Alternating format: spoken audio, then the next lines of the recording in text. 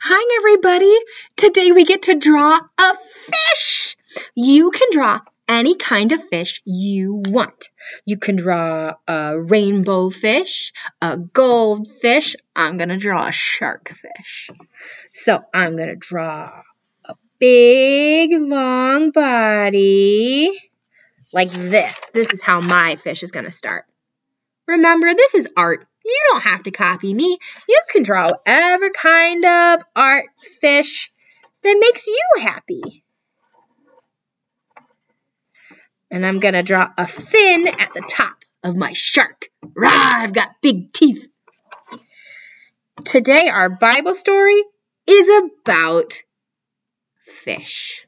Well, I mean, it's about Jesus, but there's fish in the story. The disciples were out on a boat all night long and they couldn't find any fish, any at all. And Jesus saw two boats on the water. And when those boats gave up, they went back to the shore and they were getting all their nets clean and they were really tired. And Jesus said, Hey, go back. I'll help you catch fish. And there was a little grumpy faced guy, and he's like, We already tried all night. And Jesus is like, Hey, trust me. And so the guys went back out, and then they cast their nets out over the boat. Now, I'm going to draw a net over my fish, because guess what happened? If you guessed that the disciples and the guys on that boat caught one fish, you'd be wrong. They didn't catch one fish. They didn't catch two fish. They didn't catch red fish. They didn't catch blue fish.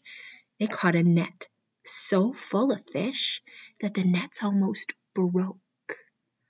And they did that because they listened to Jesus.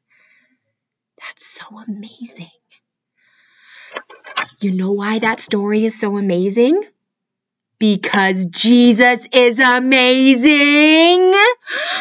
Hey, wait, who's amazing? I know Jesus is amazing. And Jesus loves me, and Jesus loves you. Have an amazing day.